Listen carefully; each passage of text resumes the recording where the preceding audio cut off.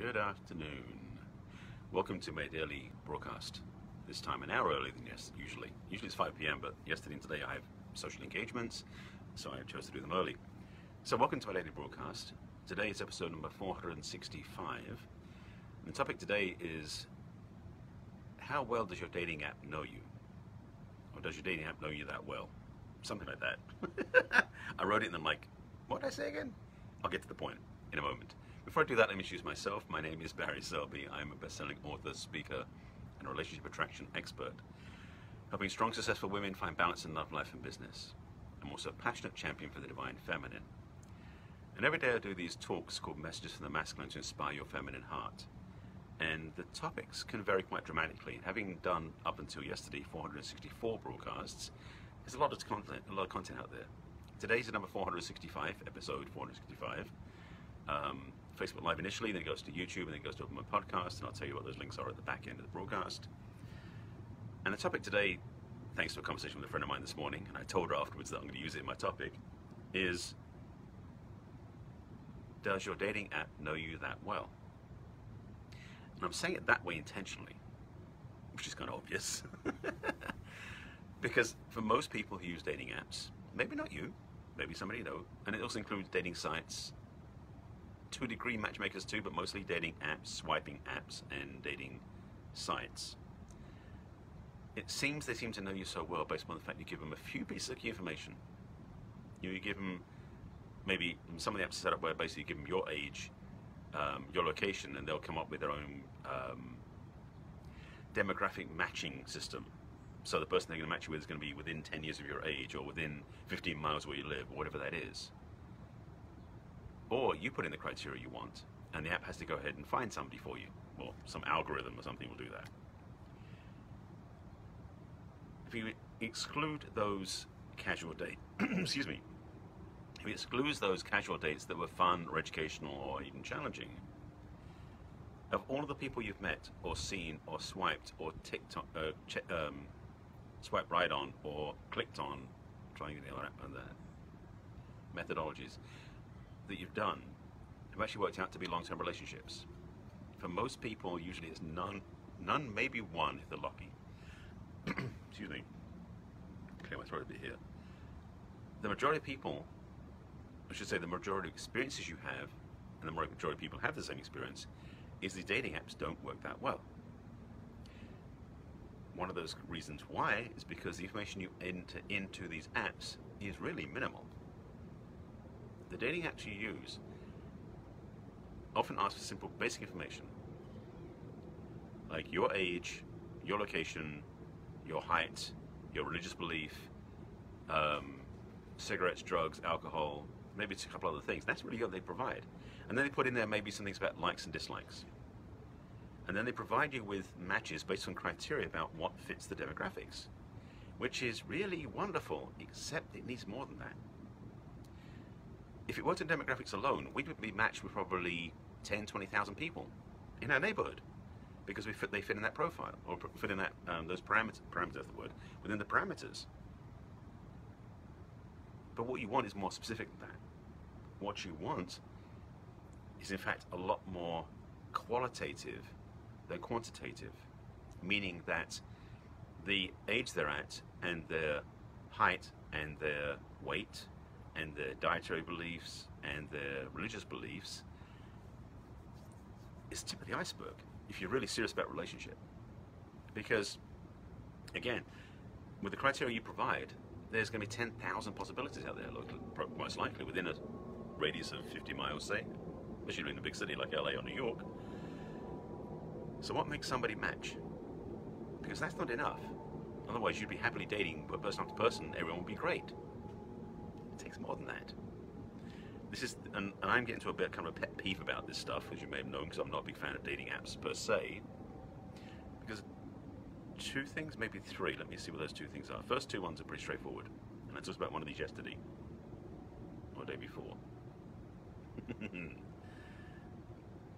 First of all, whichever gender you are, preference you are, it really makes a difference if you know what you're looking for before you go tapping on an app, swiping on an app, click on a website, whatever that is. Because first of all, it's me say this another way. It's like going to.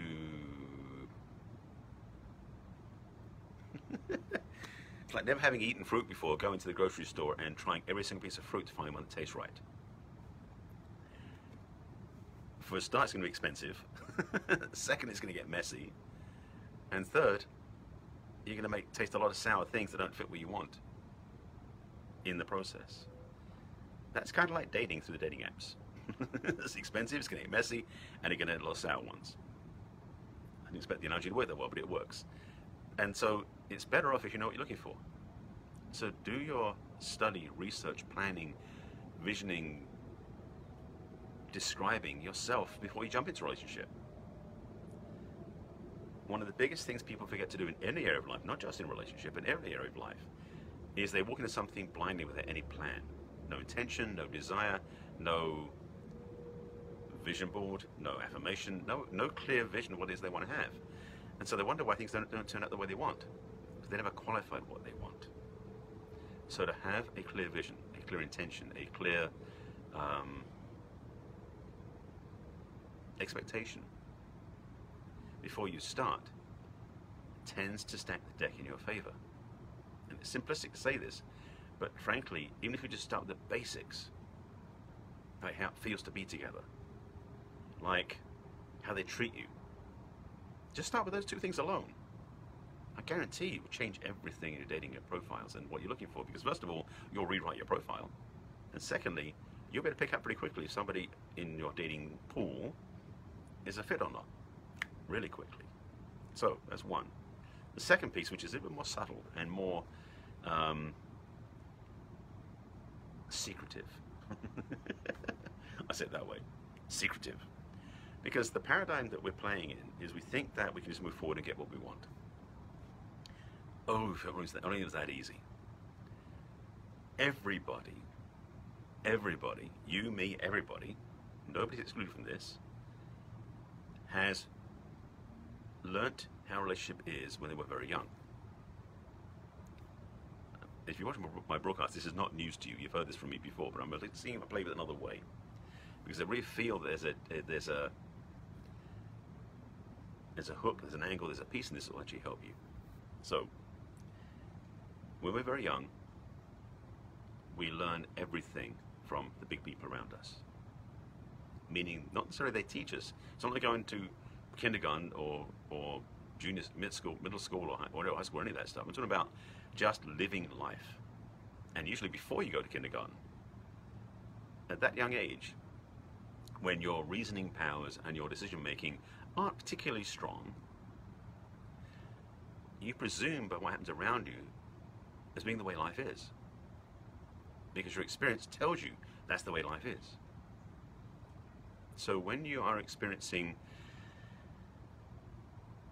love through a distorted lens, distorted because you look back and see it that way, at the time it happened, it wasn't distorted to you. It's the way it was. Doesn't matter how convoluted, distorted, deranged, challenged, obtuse, incorrect, backwards, whatever it was, the way you experienced love was the right way to experience love according to your young mind because you didn't have anything to compare against. You don't have a compendium of knowledge when you come in. Well, least not on this level. Spiritually speaking, it's out of the conversation. But when we come in, we come into this world going, oh, this is interesting, let's play on a spiritual level. And so every interaction, everything you learn about love comes from those different filters, people around you, the way life is. This is a fundamental piece, a fundamental piece of how life works, and a fundamental piece about how life doesn't work the way you want it to. And I'm to sure you get this. If you haven't heard it before, please listen. If you heard it before, I hope you get it this time. This is a big piece of the puzzle for life itself. If you have no understanding what happens to you when you're a child, you'll have no control of what happens to you as an adult. Yeah, that's big words, I know.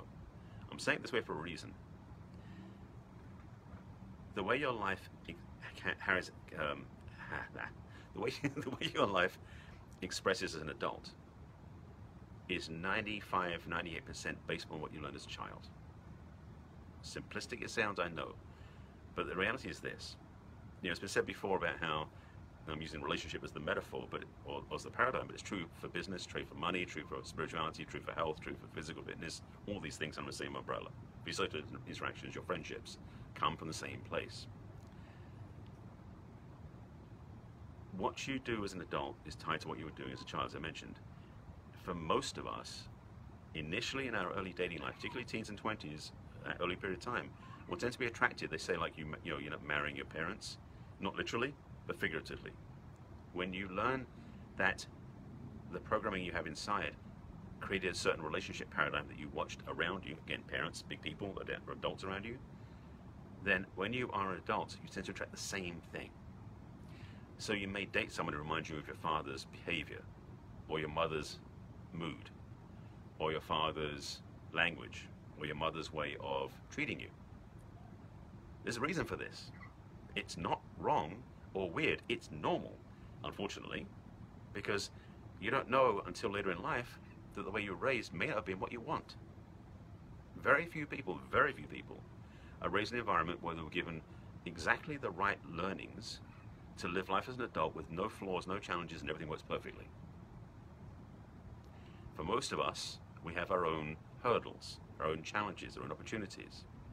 For some, they can bury them enough that it doesn't make a difference and they can just fake it till they make it. But the reality is, for most of the people watching my broadcast, especially, you know there's more to life than just what seems to just float through. There's a lot more to life than what floats through. And this is the thing for your relationship choices, because if you are having the same experience in relationship again and again and again with different people, I can tell you what's causing it. you may have guessed by now because I already just talked about it. Is you're running tapes, recordings, sorry, tapes, they're so old school now. We're not even on DVDs anymore, CDs, we've moved beyond that. You're running recordings that were basically imprinted when you were four years old, five years old, give or take, that dictate how life expresses and expands and, and happens. You are learning, or say you learned when you were younger, based upon the recordings you were imprinted with by the big people, and not even intentionally, just the way they interacted with you. And you saw for yourself how a relationship looked and said, I have to copy that. Now, you may not have done it up here, but subconsciously, lower down somewhere, that was running automatically. And as I said earlier, 90 95% of your choices tend to be in that paradigm because your subconscious mind, where it all resides, is your autopilot. And until you turn the autopilot off, it has control. As a conscious mind, you can't wrest the controls away from that subconscious mind because it's doing its thing the way it was trained to. Nothing wrong, it's just the way it does it. But if it's not what you want, you need to do something different. I'm going to give you a couple of clues. If your adult relationships are reson um, resonating or reminiscent or reminding you of your childhood, not necessarily how you were treated as a child, maybe how your parents interacted, you have to do some work about it. Hi, Gail. So you brought what you're saying here. Also, the subconscious is attracted to the same types of people in the hopes of healing the past. To a degree, I would agree with that. But I would also say that the it's more about to uh, how can say this? I'll put it this way. I said at the beginning how we are we are wired at a young age about how love is expressed. So we, as an adult, are looking for that love, but the love is encased in that particular paradigm, behavior, dysfunction. So it's not necessarily about healing the past so much as it's remembering the past because that's the way we think loving is expressed. Because when we were a child, we saw loving that way and we go, that's where it must be. So, for example, if your father abused your mother, you have a wiring when you were younger, you were a young age, if they, if they did it when you were young, that you will look for love that's tied to abuse without any conscious intention. It's subconscious, happens automatically. And for most people, healing that is not even on the radar. It's knowing that the love can only come through that filter of abuse, which sucks, I know. For most people go, no, no, no, no, no. It's like, unfortunately, it's the truth. More and more times, if you talk to therapists, you talk, or you read all the books about this stuff, family dynamics and family histories, for almost everybody can talk about this, had an abusive upbringing, it tends to, recip- to um, not reciprocate, wrong word, it tends to repeat itself as an adult. And the challenge is, is that when you're being in an abusive relationship as an adult, when you have kids, they learn it from you. So this pattern goes from generation to generation to generation.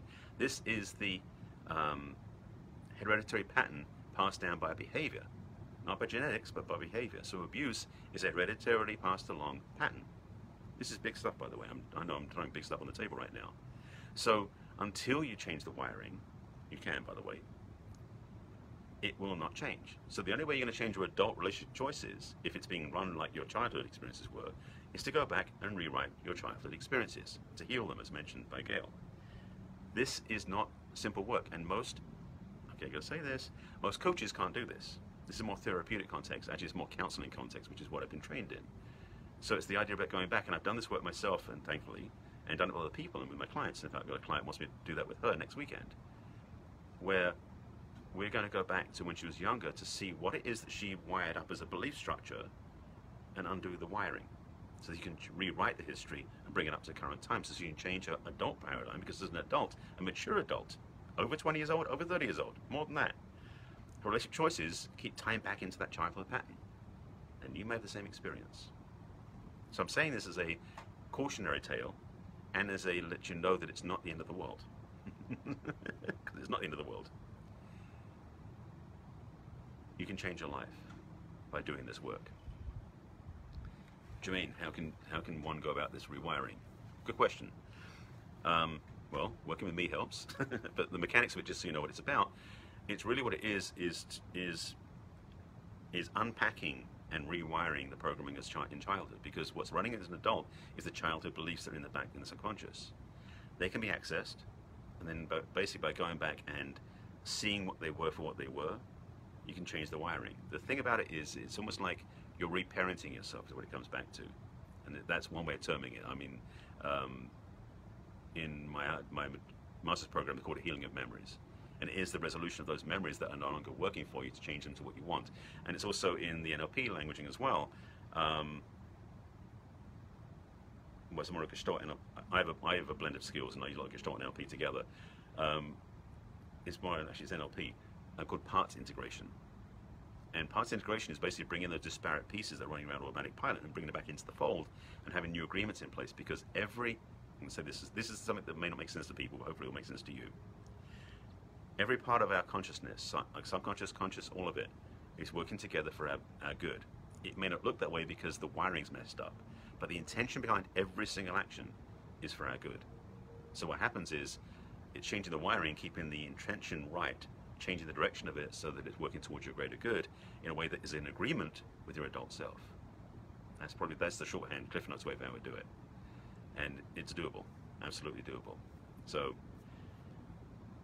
this is one I wasn't expecting to go here. I was on my dating apps, so I only got deeper on this one. But I want to show you get this point. This is a game changer for a lot of people, and they suddenly realize, oh, hang on a second, I actually have beliefs that don't match where I want to go let me change this beliefs, let me change that wiring, let me go back in and do some um, rewriting of history. Because the thing about this is, your history is all in here. Because history's gone out there. All we got here is the present moment. So your future is in here, and your past is in here. And so you have the ability to change your past in here. Now, whatever your, your parents or older siblings around you who are still alive think, that's irrelevant. It's what's inside of here when you change what's inside of here, your past changes. So it's not immutable, it's changeable. And that's a piece to give you hope in case you're worried. so that's the point I want to make sure you get there because that piece will change your life.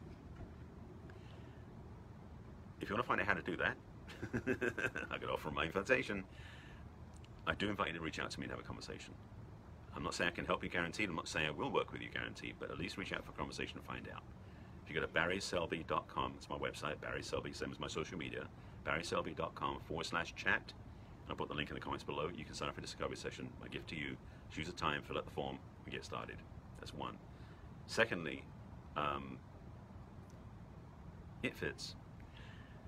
I keep talking about this every day because I'm really passionate about this piece. A recent practice, a recent meditation practice I launched um, called is self-love mirror meditation. It's so simple in so many ways, but so profound because if you start with the self-loving piece, it's like putting aloe vera on a burn. It soothes your history, it soothes your heart, it soothes that limitation inside. So the self-love practice, which is also my website again, barryselby.com forward slash self-love, or one word, and check that out. If it lines up for you, get it. If it doesn't, doesn't, it's fine. This is big stuff I know I'm giving you, and hopefully it'll make sense to you. And I do appreciate you asking questions and getting involved. And take this to heart. You can change your history. And then the dating apps, getting back to this at the beginning, um, on, is it on point you're trying to say, Jermaine? I think I was trying to say that. Um, on getting back to the topic in the beginning, those dating apps, what you're attracting, because the dating app is basically presenting an opportunity for, for possible meeting somebody. Same as if you do go to a, a, um, a mixer or a, or a speed dating event or a matchmaking service. It Doesn't really matter which venue, which format, which which tool you use. You're attracting the same thing in until you change the wiring. When you change the wiring, what you attract changes. So your dating apps will become more effective for you because you won't have the wiring running automatic pilot inside. So it does work that way. Having said that, I just want to let you know that this is my daily Facebook Live that goes onto YouTube and onto my, my, my podcast. Links, just so you know what they are, is on um,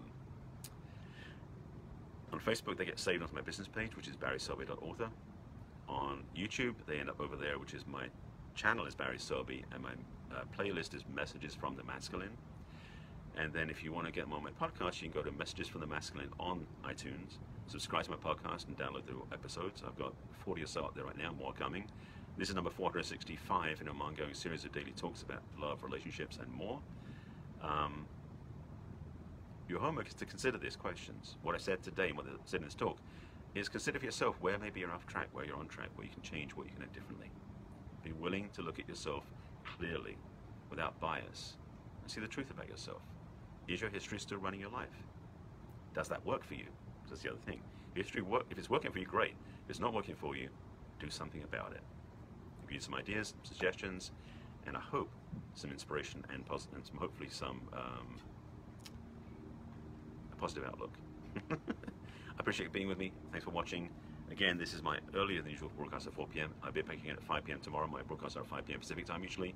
This weekend I had social plans and I have tonight, so I've got to get going. Thank you for watching as always. I'll see you again tomorrow. Take care. Bye.